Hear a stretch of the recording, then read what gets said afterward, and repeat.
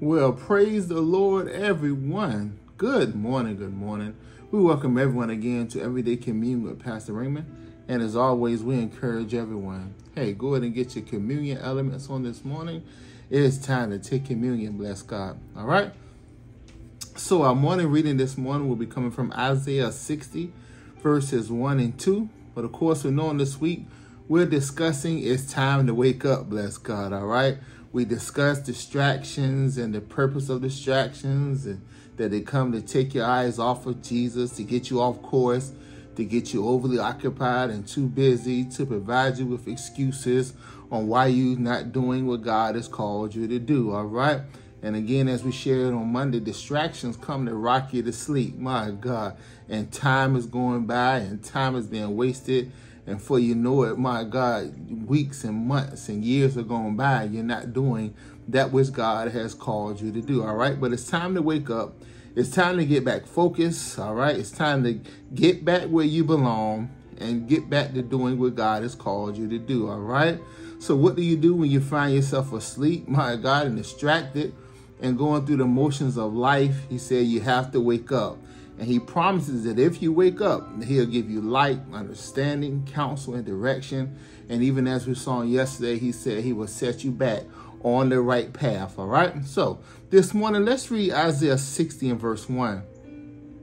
It says, Arise, shine, for thy light is come, and the glory of the Lord is risen upon thee. For behold, the darkness shall cover the earth, and gross darkness the people. But the Lord shall rise upon thee, and his glory shall be seen upon thee. Amen. Bless God. All right. God is calling for his people to wake up, my God, and arise. It's time to wake up, bless God. His glory is rising in the earth, and he needs his people to wake up. Wake up. And he promises that his glory shall be seen upon your life it shall be seen upon your marriage and your health, your finances, your ministry, your business. My God.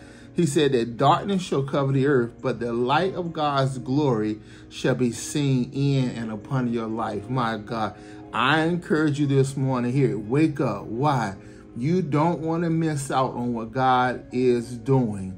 Man, you've been praying, my God, and you've been sowing and and confessing and my God, believing.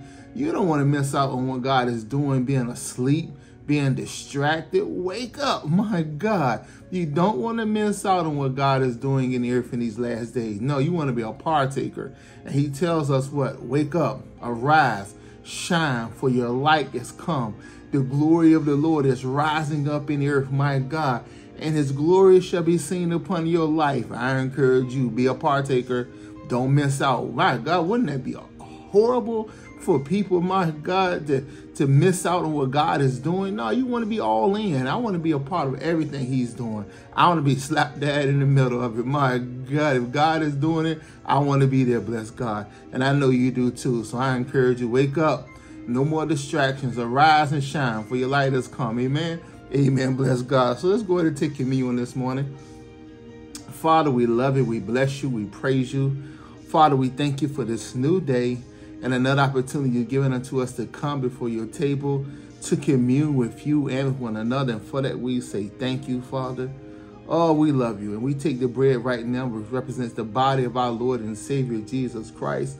Lord Jesus, everything you did was for us. It was made sin for us, that we might be made the righteousness of God. You bore all of our sicknesses carried all of our diseases, pains, weaknesses, infirmities, and with and by your stripes we were healed. The chastisement for our peace, our complete wholeness was upon you, Lord Jesus. And for that we say thank you. We love you, Lord Jesus. We acknowledge you right now. We discern your body and we honor you and we take the bread right now and we eat all of it. Thank you, Jesus. Thank you, Lord.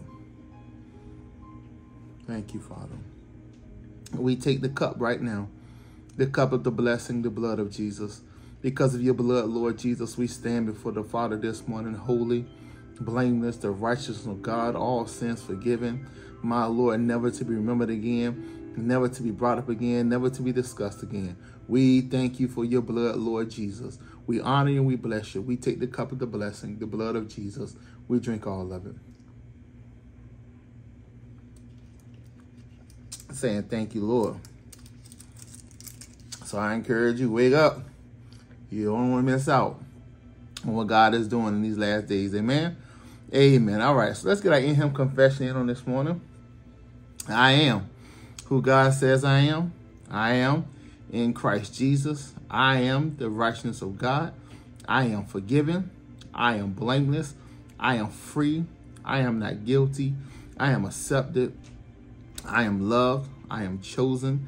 I am adopted. I am a child of God. I am whole. I am complete. I am healed. I am blessed. I am favored. I am increasing. I am cared for. I'm walking in authority. I am victorious. I am an overcomer. I am heaven bound. And talk to yourself. Self, I forgive you and I release you. Continue walking in the grace of God. Amen. Amen. Father, we love you. We bless you. We praise you. Father, we thank you for this new day and all you have in store for each and every one of us. Father, I shout grace, grace to all that's watching right now. I thank you that the blessing is working, Father, for every household. Every need is met and full with abundance and more than enough. I shout grace, grace, Father, to all those who need healing, who need health, who need strength in their bodies and in their minds. Father, you are the Lord our God, a healer for us. We receive that healing. Lord Jesus, you healed them all, and we thank you for it. And we speak peace to every household right now. Peace in their homes, Father, in their marriages. We thank you for unity, Father. And we give you the glory. In Jesus' name, amen. Hey, we love you guys. Thank you guys for joining us this morning for Everyday Communion. Lord willing, back tomorrow. Amen. Amen. Love you guys. Have a blessed day.